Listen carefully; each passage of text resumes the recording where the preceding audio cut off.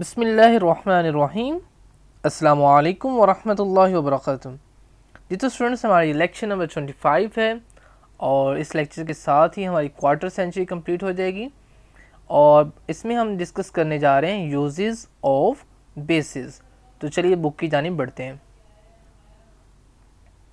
तो सबसे पहला जो यूज़ हम डिस्कस करने जा रहे हैं यूजेस ऑफ़ बेसिस के अंदर, वो है जी सोडियम हाइड्रोक्साइड का। तो sodium hydroxide is use for manufacturing of soap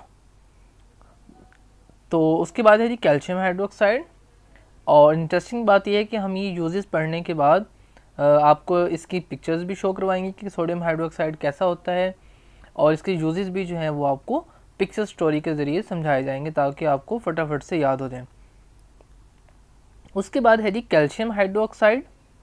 Calcium hydroxide is use for manufacturing of bleaching powder softening of hard water and neutralizing acidic soil and lakes due to acid rain.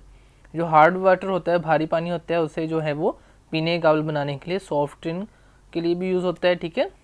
और जो है वो हमारे पास ज़मीन है, उसकी acidity तेज़ाबियत जो है वो ख़त्म करने के लिए, उसे न्यूट्रलाइज करने के लिए भी इस्तेमाल होता है और लेक्स को भी। क्यों? जब बारिश होती है तो बारिश एसिड रेन बाज़ात हो जाती है। और एसिड रेन क्यों होती है? क्योंकि हमारे पास जो फैक्ट्रीज होती हैं, उनके अंदर से जो है हमारे पास एसिडिक गैसेस जो होती हैं, वो मिल जाती हैं फ़ज़ा के अंदर। और जब बारिश होती है तो फिर जो पानी है, जब उनके साथ रिएक्शन करता है तो वो एक तेज़ाबी, तेज़ाब बन जाता है। और फिर तेज़ाबी बारिश होती है। और ऐसी जगह जहाँ पे फैक्ट्रीज़ ऐसी ज़्यादा हैं, जिनसे हमारे पास एसिडिक गैसेस जो है अखराज होती हैं तो वहाँ के करीब जब बारिश होती है तो वहाँ पे जो पत्ते होते हैं वो भी जल जाते हैं एसिड की वजह से सड़ जाते हैं, ठीक है? उसके बाद है जी potassium hydroxide is use in alkaline batteries potassium hydroxide जो है वो आपके पास अल्कलाइन बैटरीज जैसे कि आपके पास घड़ी के अंदर सेल डलते हैं, ये सारी अल्कलाइन बैटरीज होती हैं। मज़ीद हम पिक्चर स्टोरी के अंदर सब जो है वो ईज़िली समझ आ देगा उसके बाद है जी magnesium hydroxide is use as a base neutralise acidity in the stomach तो ये जो आपके मैदे के अंदर एसिडिटी हो जाती है, तेज़ाबियत ज़्यादा हो जाती है। It is also use for the treatment of bee string तो तेज़ाबियत के हवाले से आज हमारा इसके बेसिस के यूजेस के साथ साथ हमने स्टोमज एसिडिटी भी डिस्कस करनी है। हमारा जो सेकेंड पार्ट है इस लेक्चर का, उसमें हम मज़ीद डिस्कस करेंगे स्टोमज एसिडिटी को इनशाला तो मैग्नीशियम हाइड्रोक्साइड जो है, वो बीज जो है, वो आपके पास शहद की जो मक्खी है उसका जो डंग है, उसके लिए भी अगर कहीं काट जाए तो उसकी ट्रीटमेंट के लिए भी इसको यूज़ किया जाता है। उसके बाद है जी हमारा next aluminium hydroxide is use as forming agent in fire extinguishers तो हमारे पास जो आग बुझाने वाले होते हैं, उसमें फॉर्मिंग एजेंट के तौर पे भी यूज़ होता है मीन्स के। हमारे पास आग बुझ जाती है इससे, ठीक है? और ammonium hydroxide is use to remove grease strain from clothes हमारे कपड़ों पे अगर ग्रीस के स्ट्रेन लग जाएँ ग्रीस क्या है हमारे पास। यही पेट्रोलियम की मसनूआत में से होती है। तो जिस तरह अगर फ़र्ज़ करें, बैरिंग्स होते हैं हमारे पास जो है कार्स हैं उनके अंदर, उनको, उनकी जो फ्रिक्शन है, वो ख़त्म करने के लिए ग्रीस जो है वहाँ पे लगाई जाती है। तो अब हम बढ़ते हैं पिक्चर स्टोरी की जानब और इन सब चीज़ों के जो बेसिस हैं, इनके यूजेज जो हैं, वो पिक्चर स्टोरी में डिस्कस करते हैं। ये देखिए जी, सबसे पहले हमारे पास है सोडियम हाइड्रोक्साइड इस तरह का होता है, ठीक है जी? तो इसका फार्मूला भी लिखा हुआ है एन यू एच तो एक लिक्विड फॉर्म में, एक सॉलिड फॉर्म में दिखाया गया आपको। तो इसका जो यूजेस है, हमने पढ़ा कि is for manufacturing of soap तो ये जो हमारे पास साबुन है, वो बनाने के लिए इस्तेमाल होता है। ठीक हो गया जी? उसके बाद है, हमने पढ़ा कैल्शियम हाइड्रोक्साइड ये कैल्शियम हाइड्रोक्साइड इस तरह का पाउडर होता है आपके पास। और ये किस लिए यूज़ हमने पढ़ा? कि is use for manufacturing of bleaching powder ठीक है ब्लीचिंग पाउडर के लिए इस्तेमाल होगा। Softening of hard water hard water क्या होता है? जिसके अंदर हाई मिनरल्स होते हैं। तो उन फिर मिनरल्स को जो है, हम इसके ज़रिए कंट्रोल करते हैं, नमकियात को, ठीक है? तो ये देखें, आप दिखाया गया एक थोड़ा सा प्रोसीजर कि हार्ड वाटर जो है, उसमें सोडियम क्लोराइड डाला जाता है, फिर जो है वो हमारे पास वो सॉफ्ट वाटर में चेंज हो जाता है, ठीक है? और सॉफ्ट वाटर को फिर अलग कर लिया जाता है। And neutralise neutralising of acidic soil तो हमारे पास देखें तजाबियत तेजाबी जो ज़मीन है, इसमें आप देख रहे हैं कि लाल लाल सी हुई हुई है, ठीक है? तो इसको क्या करते हैं? इस पर जो है वो छिड़का जा रहा है हमारे पास कैल्शियम हाइड्रोक्साइड और फिर इस तरह से इसकी जो एसिडिटी एसिडिटी होती है, तेजाबियत होती है, वो कम हो जाती है और ज़मीन पे जो है वो फ़सल शानदार हो जाती है, ठीक है? ये भी आपको देख रहे हैं ट्रक के ज़रिए, जो है वो सॉइल को, जो है वो एसिडिटी उसकी ख़त्म की जा रही है, ठीक है जी? उसके बाद है हमारे पास नेक्स्ट हमने पढ़ा पोटाशियम हाइड्रो ऑक्साइड के ओ एच ठीक है जी? अब ये किस लिए यूज़ होता है हमारे पास? अल्कलाइन बैटरीज में। अल्कलाइन बैटरीज ठीक है? ये पोटाशियम हाइड्रोक्साइड इस तरह का होता है। और यूज़ किसमें होता है जी? जो हमारे पास बैटरीज हैं डिफरेंट तरह के सेल्स हैं, ये सारी आपके पास अल्कलाइन बैटरीज हैं, ठीक है? ये भी अल्कलाइन है। उसके बाद हमने पढ़ा था जी magnesium hydroxide M U H twice तो ये एक सैंपल है जी मैग्नीशियम हाइड्रोक्साइड इस तरह का होता है, ठीक है? आपको नज़र आ रहा होगा इसके अंदर वाइट सा पाउडर तो अब ये किस लिए यूज़ होता है? Is use to neutralise acidity in the stomach तो ये मेदे के अंदर जो तेजाबियत होती है, जो अभी हम इसका हमारा सेकंड पार्ट भी है इस लेक्चर में, उसको ख़त्म करने के लिए हमारे पास मैग्नीशियम हाइड्रोक्साइड वो यूज़ होता है। ये आपको नज़र आ रहा है मैदा, और इसको जो रेड कलर से शो किया गया, वो दिखाया गया कि आपके पास इसमें इंतजाबियत जो है वो हुई हुई है एसिडिटी का शिकार हुआ हुआ है मैदा। उसके बाद है जी ये बी स्ट्रिंग ये जो शहद की मक्खी है आपको इसका स्ट्रिंग नज़र आ रहा है डंग तो इसके जो है वो क्योर के लिए भी इस्तेमाल होता है, ठीक है जी? ये भी आपको देख रहे हैं कि किस तरह से इसका स्ट्रिंग है। उसके बाद है जी हमारे पास अलमिनियम हाइड्रोक्साइड तो ये किस लिए यूज़ होता है? इस तरह का ये पाउडर होता है जी, और फॉर्मिंग एजेंट ये फॉर्मिंग एजेंट यानी किस्म का फॉर्म बन जाता है जिससे आग जो है बुझ जाती है तो उसके लिए इस तरह के हमारे पास एक्सटिंग्विशर होते हैं तो उनके लिए यूज़ होता है। ठीक है जी? इसके बाद है हमारा last one ammonium hydroxide N H three H two O और ये किस लिए यूज़ होता है जी? Remove the grease stains from cloth ये देखें जी, इस तरह का ब्लैक कलर की जो लोग काम करते हैं फैक्ट्रीज़ में तो उनके कपड़ों पे इस तरह ब्लैकिश ग्रीस जो है वो लग जाती है गाड़ियों से, ठीक है ट्रकों से। तो फिर इस तरह से वो, ये देखें जैसे ये गिरा हुआ है तो इसको साफ़ करने के लिए हम क्या चाहिए? अमोनियम हाइड्रोक्साइड जो है उसके ज़रिए से हम इनको रिमूव कर लेते हैं। उसके बाद जी हम बढ़ते हैं अब अपने नेक्स्ट टॉपिक की जानब जो कि है stomach acidity stomach secrete chemicals is a regular way to digest food These chemicals mainly consist of hydrochloric acid, ठीक है HCl, along with other salts. Although hydrochloric acid is highly corrosive, तो यहाँ तक समझ लेते हैं जी इसने क्या कहा है।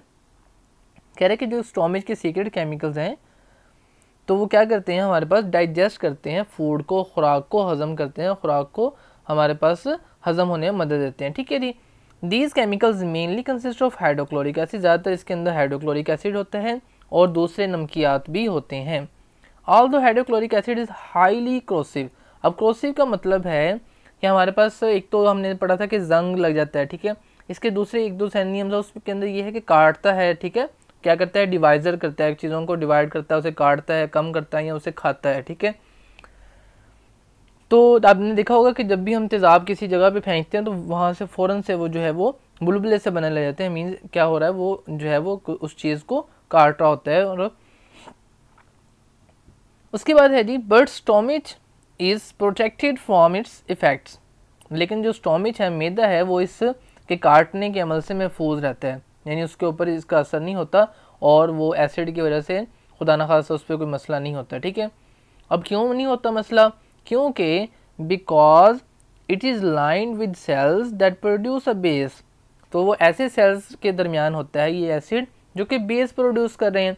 अब वो बेस प्रोड्यूस करते हैं, ये एसिड है तो इसलिए फिर बेस और एसिड मिलके न्यूट्रल एक दूसरे को न्यूट्रलाइज कर देते हैं। इसलिए स्टोमिच की जो दीवारें होती हैं, उनके ऊपर इस तेज़ाब के काटने का, खाने का, ठीक है, और जलाने का मतलब असर नहीं होता।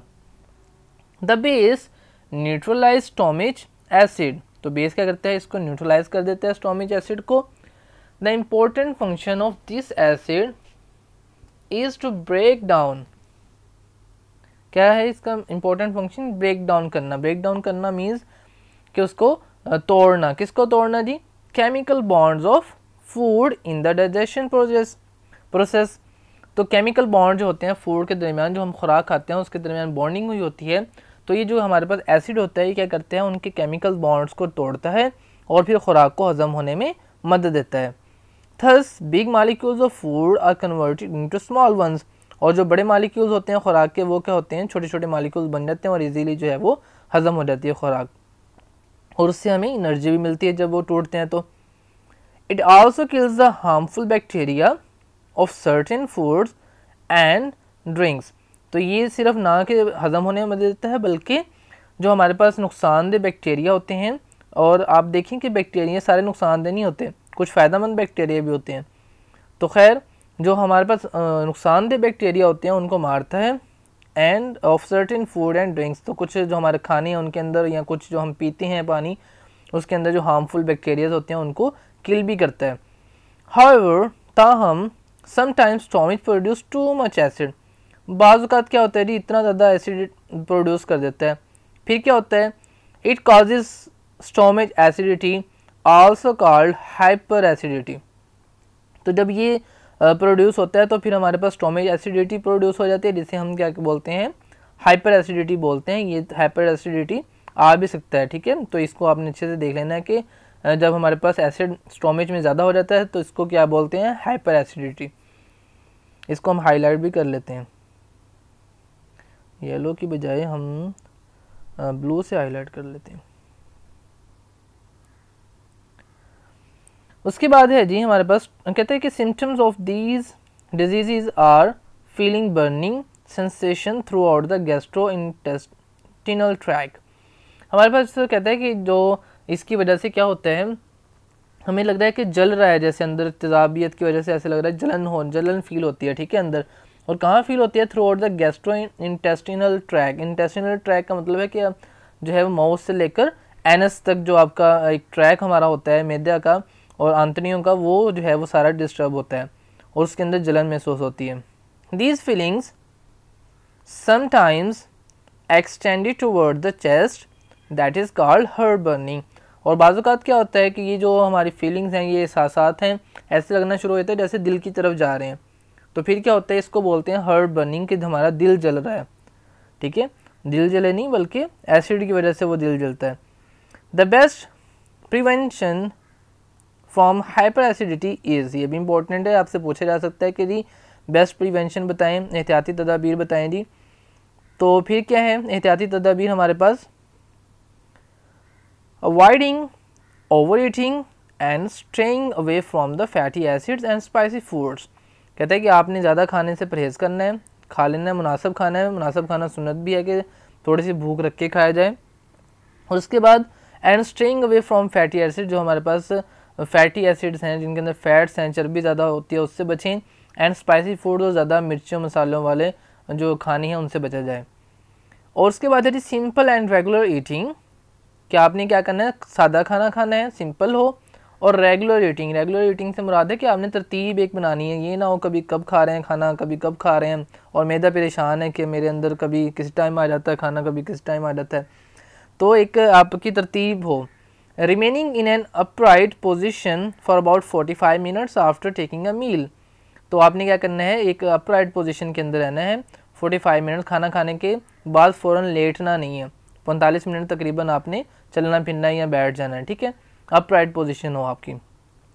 Keeping the head elevated while sleeping तो आपने सोते वक्त अपने सर को थोड़ा सा ऊँचा रखना है ताकि जो है आपकी एसिडिटी ना हो।